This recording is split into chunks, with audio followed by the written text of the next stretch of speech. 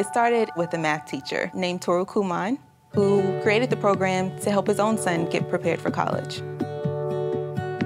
Now, we're the largest after-school math and reading program in the world. Kumon allows students to work independently and at their own pace. We feel it's very important, you know, that we can develop the confidence in students into becoming self-learners. Hannah loved gorillas. When I grow up, I want to be a graphic designer. A geneticist or a chemist. A swimmer. An author. I want to be a doctor when I grow up. I think every parent wants their child to be self-reliant and self-confident. And our program can help them be that. When Sam starts, he'll take a placement test in both math and reading. I'll also be paying attention to his concentration level, his focus, even down to minute things like his handwriting. I will use that knowledge to develop a lesson plan customized for Sam's ability. We want everything to be individualized for him so that there is no gap in his learning. Sam will be completing worksheets every single day. Worksheets will have an example that the student will follow, and from that example, the student will be able to learn the new concept that they're being introduced to. If he's ready, if he's mastered it, then we'll allow him to progress at his own pace. From the very first set of worksheets that he completes, we really want him to feel like he's succeeded. That satisfaction, you know, I did it. 32 minus 2. Oh. 30. I have been doing Kumon for almost a year now.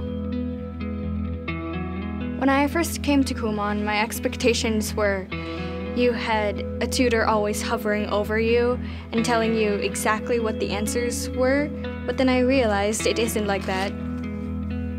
Miss Kristen kind of wanders about, so if you really need help, you can ask her but you really have to try to get it yourself first.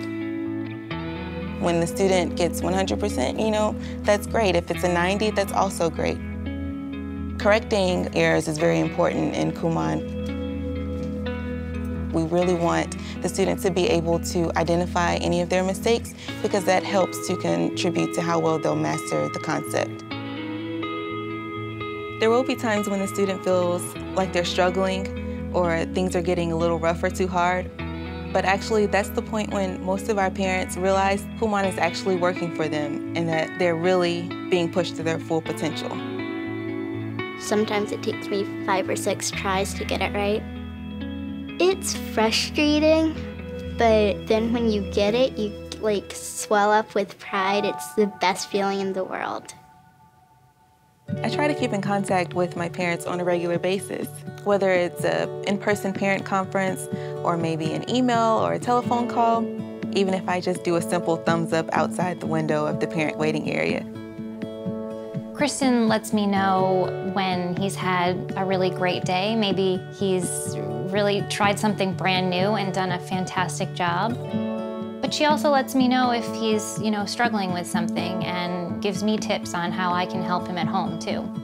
I like to have my parents set up a Kumon time. You have time to, you know, take him to soccer practice, take him to school, and take him to the doctor. So it's great to have, you know, a specific time for him to do Kumon so that it becomes more of a natural day-to-day -day routine for him. And I try to do my best to make it something that we do every day I try to set a good example so that when he's doing his Kumon work, I'm trying to do things around the house, and uh, it helps keep him on track. Originally, we wanted him to have a great foundation and to be prepared for school.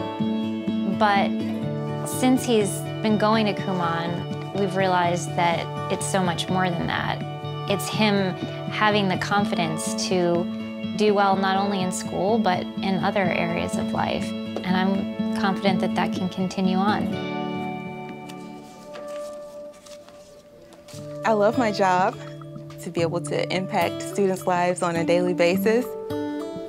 Sometimes I don't even realize that I'm making a difference in a child's life until at a random moment in class, one of them comes up and hugs me, just out of the blue. That is rewarding for me.